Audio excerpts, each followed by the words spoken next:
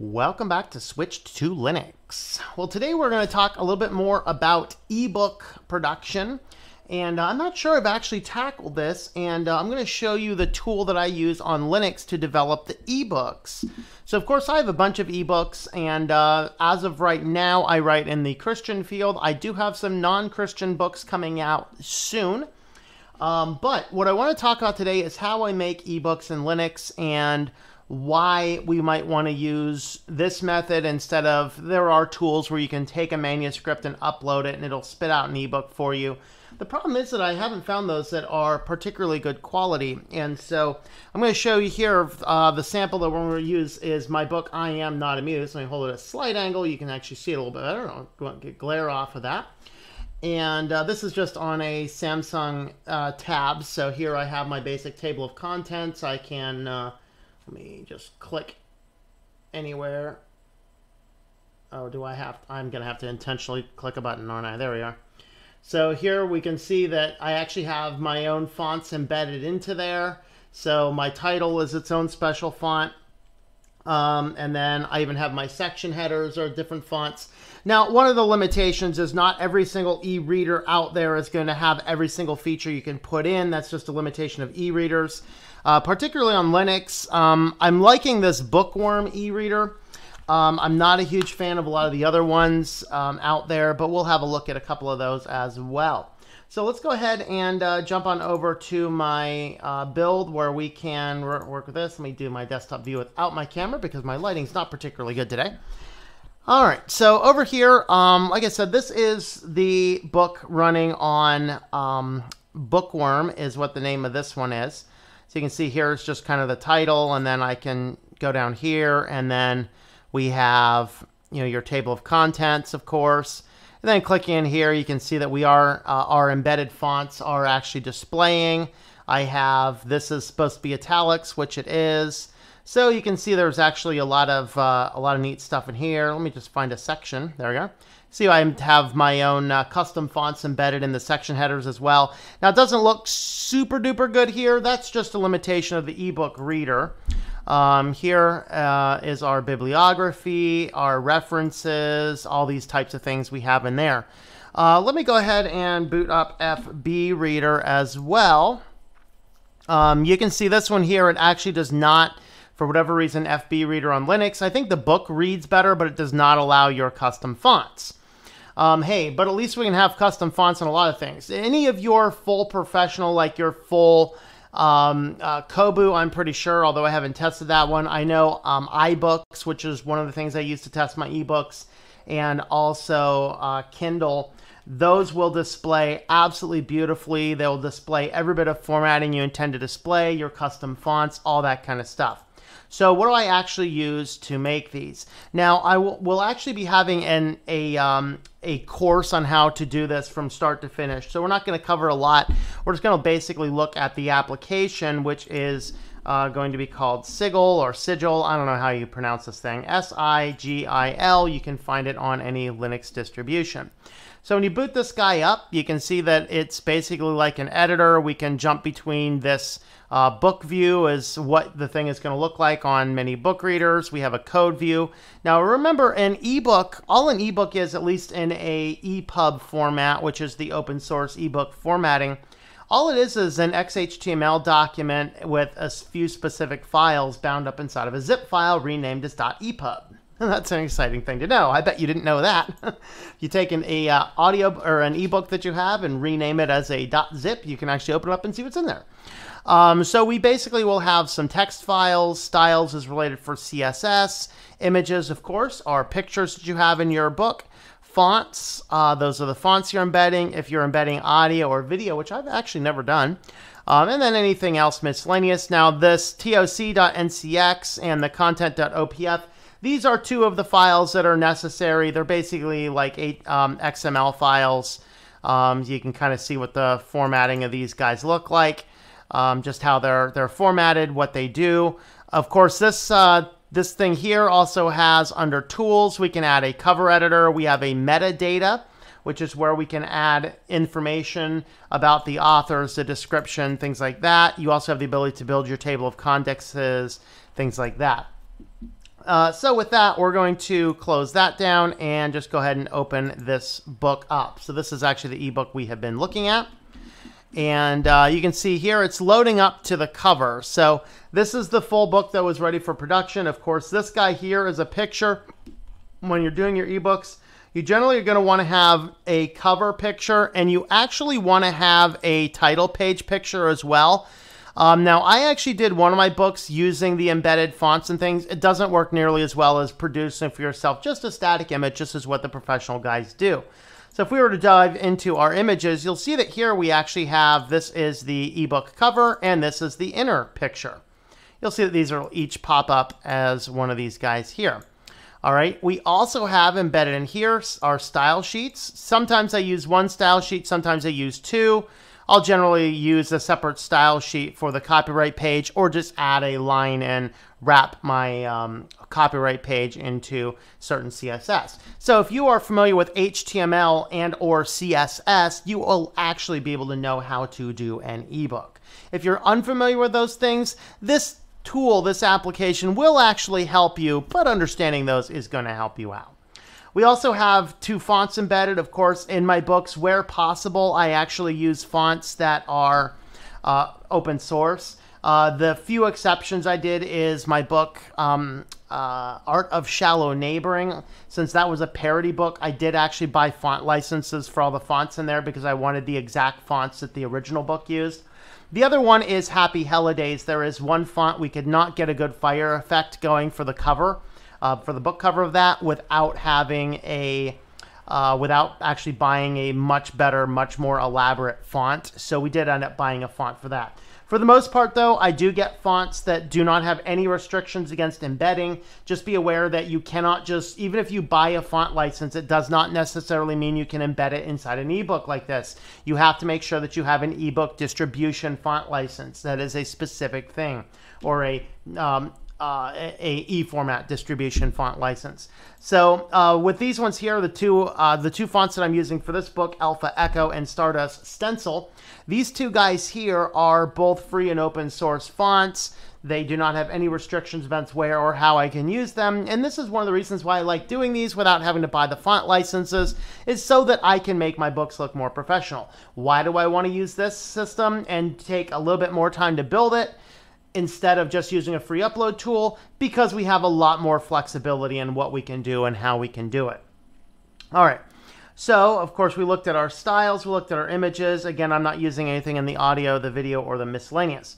Now, what I like to do, and this is kind of optional, and I do it for organization purposes, is that each chapter has its own XHTML file. You can do, you know, one or two files, split the book halfway down the middle, things like that. I actually find it's easier to work with, and it actually is more professional. If you were to take a full-fledged professional ebook and open it up, it's going to look a little bit more like this. I am not sure what happens if you were to just create an ebook utilizing one of the processing tools. Of course, this is the cover, um, and you can see what you're doing here is it's just calling the image in here with the cover. That's all it's doing. Uh, title page. This is actually, you'll see that there is a distinct difference between the cover and the title page just because the title page is technically just an interior book. The cover is a specific type of file that you are using because this is what's actually called and, and known to be a title page. Table of contents. Now, I'll, of course, link my table of contents to the individual section, and I'll link the section back to the table of contents. This is another thing that I have not seen in all of the ebooks that are out there. But if if you're on any chapter at the top top and you click the the um, uh, the chapter title for the book, you will go back to the table of contents. It does give you another way to get back to the table of contents. I recognize that you do have the ability to pull up the menu in most of your applications. Um, so you can see here we have a bibliography, the appendices, all of the individual chapters. And again, it's just an HTML. Here's your book view. You can see that we're using an ordered list, so everything just gives me a nice listing here. And then if you actually look at this table of contents, you'll see H1. And then remember our style sheet H1 uses the Alpha Echo font family that I'm using right up here. So you can kind of see what we're doing with that. Uh, let's just open up a random chapter. So this is kind of what our random chapters look like. Again, we're calling the style sheet. We have our H1. You can see that this href here is our link back to the table of contents. So our chapter titles always will link back to the table of contents. And then what I do here, what is this is uh, this is chapter two. Let's go down to this is a more typical chapter because I actually start my chapters with these block quotes. And you can see that this is a block quote with a class tag of a chapter. And so this is what specifies these as being, um, these guys as being our um, italicized. You'll see here we also have a block quote in here as well. Just some basic, simple HTML markup. Let's go ahead and look at the book view of this one. You can see here, um, you can see that this guy here is reporting our custom fonts. This is reporting my custom fonts.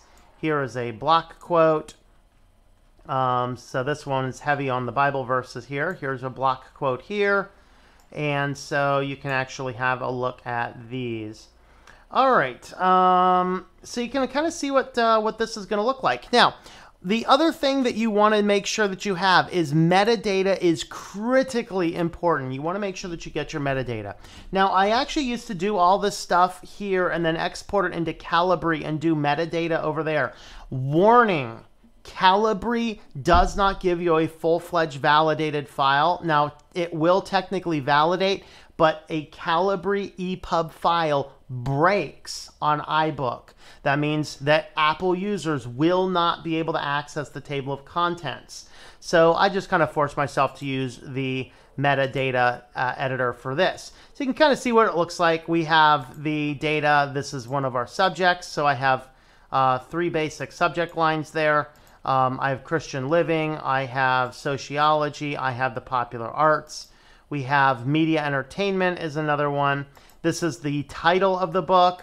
This is the creator. So you can see that this is who the author is listed as.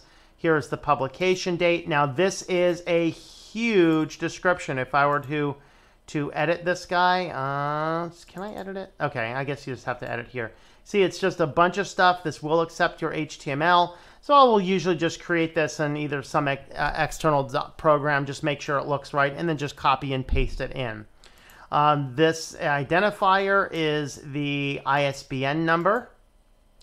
And then here is the publisher, and this is the declared language. So you can go ahead and create all of your metadata. When you create it in Sigil, it is going to validate, and it is actually also going to work with iBooks. Now, there is one thing, though, that I notice, um, and that is that it is going to give you one extra tag, which this one's not uh, going to give it to me because there's one extra header tag that Sigil will add that will technically validate, but if you're distributing your books through Lightning Source or Ingram Spark, it will actually kick the book back out. And I forget what that meta tag is, but you'll see it. It'll add to the top of each of your HTML documents. Pull that out, the file still validates, and it works perfectly fine on that distribution. If you're just distributing through Amazon KDP, it doesn't matter. Those tags can stay. All right, other tools is once that you have all of your system done, you want to come down, you want to um, you want to come into here and you want to update, run both of these tools, generate NCX. Remember the NCX is that special file down here at the bottom, the toc.ncx.